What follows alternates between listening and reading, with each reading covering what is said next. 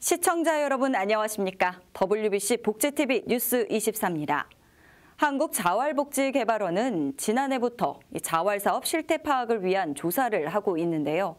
올 한 해 조사 결과를 공유하고 앞으로의 정책 방향을 논의하기 위한 자리가 마련됐습니다. 제2회 자활 정책 포럼과 함께 자활사업 참여자와 종사자에 대한 시상식이 이어졌는데요. 김은별 기자입니다.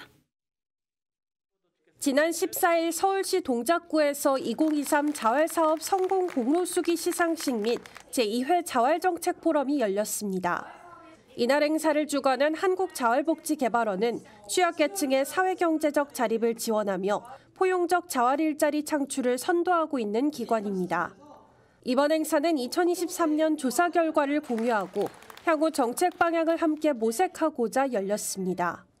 또 자활 사업에 대한 성과 공유, 자활사업 참여자와 종사자에 대한 사기 진작을 도모한다는 취지입니다.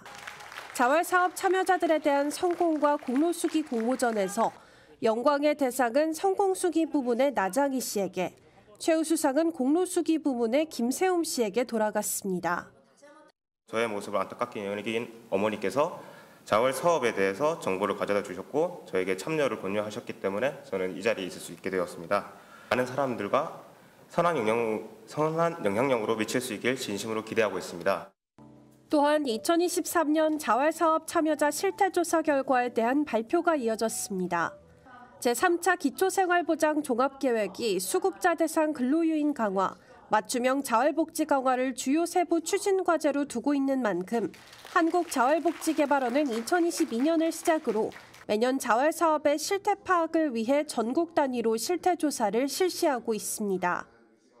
어, 한국자활복지개발원이 2022년부터 자활사업 참여자 실태조사를 시작해서 올해는 전국 자활기업에 대해서 전수를 대상으로 해서 종합 실태조사를 실시했습니다. 어, 올해 여름에 세웠던 어, 제3차 기초생활보장 종합계획 속에서 어떻게 어, 우리들이 2024년, 5년, 6년에 일들을 펼쳐나가야 되는지 그 근거가 되는 자리들, 그 근거를 공유하는 자리라고 생각이 됩니다.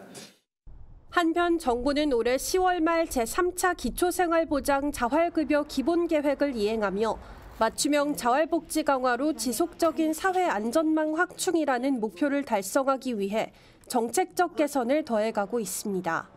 내년에는 이러한 기조로 인해 자활 예산이 약 8% 정도 인상되고 국비만 7,200억 정도가 투입되는 수준으로 규모가 커질 예정입니다. 이러한 기조에 맞춰 한국자활복지개발원은 실태조사 체계를 더욱 발전시키고 강화하겠다고 약속했습니다.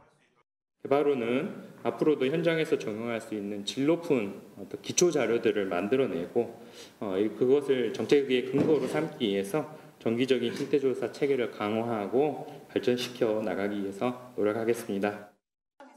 복지TV 뉴스 김은별입니다.